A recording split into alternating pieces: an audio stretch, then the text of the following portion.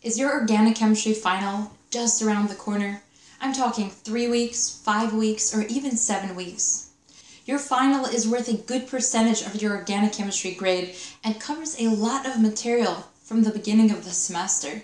So are you worried, knowing that it's coming up and how much you have to cover, that you may not be ready when the time comes to do your best? I'm going to show you exactly what you have to do starting now to make sure that when finals roll around, you are ready, you are prepared, and you are confident that you're going to ace your exam.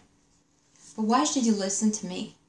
My name is Leah Fisch. I'm a United States Navy veteran and the founder and creator of Leah4Sci.com and the Leah4Sci tutorial videos on YouTube. With over 200 YouTube videos viewed by students just like yourself looking to understand organic chemistry concepts, reactions, mechanisms, and so much more. I've also been tutoring organic chemistry for many years and have helped thousands of students understand the information and get through the course. So if you're scared about your upcoming final and not sure that you can make it, well, I've been there. I know what it's like to struggle and I know what it's like to bomb an organic chemistry exam. But I also know what it's like to come back strong and ace your class, and that's what I'm going to show you. So if your final is three weeks, five weeks, or seven weeks away, Simply trying to start now and opening your books is not enough. Sure, you can start getting through the material, hoping and praying that by the time your exam rolls around you're done, but that's a guessing game. And with something as important as your Orgo grade, your GPA, your transcript, you can't afford to guess, you have to be sure. So the first strategy I'm going to teach you is the backwards calendar. Instead of picturing yourself here, and knowing that you have to go all the way up to here for your final exam, that goal is daunting, it's far away, it's hard to reach. Forget that. Instead, I want you to think of your goal here. It's the day of your exam, you are ready, you are confident, you know that you are going to get every question right. But if that's the day of your exam, what does that mean for the day before the exam, the day before that, a week prior, another week prior? Where do you have to be every step before your exam to make sure you reach your goal. So instead of looking at your goal as something in the future, I want you to picture yourself as being at your goal, looking down, looking back to where you were, and then making sure that you're there every step of the way. So here's how we're going to do it. I want you to pause the video and grab a pen, paper, calendar, and your final exam date.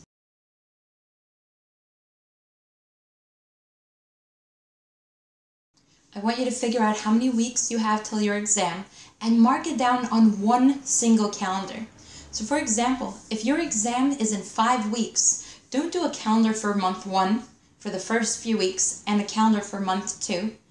Because as you're going through that first month, you're subconsciously relaxed because even though you have a few weeks, your exam isn't until next month. So you cross out the days, you cross out the days, you get to the last day of that calendar, you flip the page, and bam, your exam is right there, two, three, five, even 12 days away, and it hits you, and you're not ready.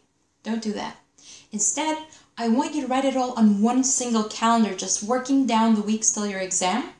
And this way, you always know exactly where you are, where you need to be, and how much time remains. Now here's what you want to do. Figure out exactly what you need to cover for your exam. That means how many chapters, how many practice quizzes and practice exams you want to go through, how long it'll realistically take you to get through it all, and compare that to the time you have left. So if you have a cumulative Organic Chemistry 1 final covering 12 chapters with 40 days to go, give yourself approximately 3 days per chapter. But if you have just 13 days to go, you'll need to give yourself one day per chapter. Let's take a look at two examples, one with a shorter calendar and one with a longer calendar, and then you can use this information to craft your own personal calendar, making sure that you're ready for your exam in your required time frame. Let's take a look at a three-week plan, which assumes that you have a final exam in three weeks, and let's say it's covering a total of 13 chapters. Now, with three weeks to go, I'm assuming that you're already studying for finals. But just in case, let's see what it would take to cover every single chapter in a reasonable amount of time to make sure that you're ready when the final comes around. Here's a quick calendar that doesn't look at months individually, but rather looks at an entire four week period. We're going to assume that we're starting on a Tuesday and that the final exam is also on a Tuesday. In addition to making sure that you've studied for the final, there are a couple more key features that you have to put into your calendar. This includes a rest day. The final exam is not a day to be catching up. The day of your final exam is a panic day where you say, oh, I think I forgot something, and you go back and review that, having already studied all that information. The day before your final should be a catch up day. And that's because no matter how strategically you plan, something is going to come up. And if you fall behind, you don't want to be catching up on the day of the final. You want to build in a day to catch up so that you're still not going to stress out and you also need an exam review day. Studying and reviewing is great, but unless you give yourself a day to really tie things together, then you may not be as well prepared. So that exam review day would be going through practice finals, practice quizzes, practice exams, and just making sure that you're comfortable tying the concepts together. This leaves me with 18 days and 13 chapters to go. So we can't really do a chapter every other day, but if we do a chapter a day, there's extra time. So here's what I'm going to recommend do one chapter a day, and then every two or three days, give yourself a review day so that you do nothing but practice questions. And this way, you're making sure that you understand the information before moving on to the next chapter. Review days are also great if you have to study for other topics, spend time with family, or just do other things that have come up in life. So let's say we'll do chapter 1 and chapter 2. This will be a review day. Chapter 3, Chapter 4, another review day. Chapter 5, Chapter 6, another review day. Chapter 7, Chapter 8, review. Chapter 9, Chapter 10, review. Chapter 11, Chapter 12, review, and Chapter 13. If you follow a schedule like this, you're not overwhelming yourself, you're not trying to accomplish too much in a single day, and there's always breathing room in between the chapters to make sure that you really understand before you move on to the next step. So by now you should have it completely listed out, including the date of your final exam, the number of weeks remaining, and which specific chapters you have to cover and master every single day. But what about the rest of the course? Every single concept, reaction, and mechanism covered this semester from day one leading up to your final. Would it help you if I was able to teach you every single topic, breaking down the logic, the why, and the how for concepts, reactions, mechanisms, with practice problems, questions, and explanations along the way?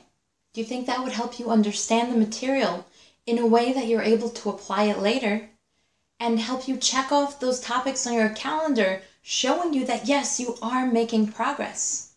If you answered yes to any of those questions, I want to invite you to join me for an online organic chemistry bootcamp crash course where I will teach you the entire curriculum from start to finish. For more details, visit orgobootcamp.com. Now let's take a look at a five week plan and we'll make it a little more exciting. Let's say we're covering 15 chapters on a cumulative final. Here we have another calendar for six weeks. Again, we're not looking at the months as much as the specific time remaining till your exam on one page so you can see everything together. I haven't put in dates in the last one because that'll be up to you. So just put in a tiny little date in the corner once you have it set up to match your schedule and your final date. For this example, again, we're looking at a starting day of Tuesday and a final also on a Tuesday. We have a total of five weeks and we're looking at 15 chapters. 15 chapters for a cumulative final is going to require a little more time because the more information you cover, the more safety time you want to build in. Make sure that you have a catch up day and for this one, I'm going to do two exam review days because with 15 chapters and five weeks to go, you want to give yourself two days to review exams. And that way, as you're going through the exam, if you find you're not comfortable with something, you can afford the time to go back and review that topic. That leaves us with quite a bit of time to go 31 days and 15 chapters. So we're looking at an average of about one chapter every two days. But if we're spending two days on a chapter, that includes study, learning, and review. So the review should be built in with that chapter. But that only gets us to 30 days, so we're going to take a day off. You need a breather somewhere in the middle. So let's make this day a random breather. It's the weekend. Go party, go hang out with your friends, go do something to give you a break, and then continue with your studying so that you're refreshed and ready to go. So let's go ahead and break this up. We'll do chapter 1. I'll just put in numbers here, so the number will represent the chapter. Chapter 1, 1 on review. 2, 2 on review. 3, 3 on review. 4, 5, 6, 7, 8, 9, breather, 9 again. 10, 11, second day for 11, 12, 13, 14, 15, and here we go. 15 chapters, two days per chapter with time to review, a breather day so that you can collect your sanity, and then you have time to review exams, catch up, and the day of the final, you can relax and just take the day easy, make sure you sleep, make sure you eat, and do well on your exam. Great, so now you have your calendar.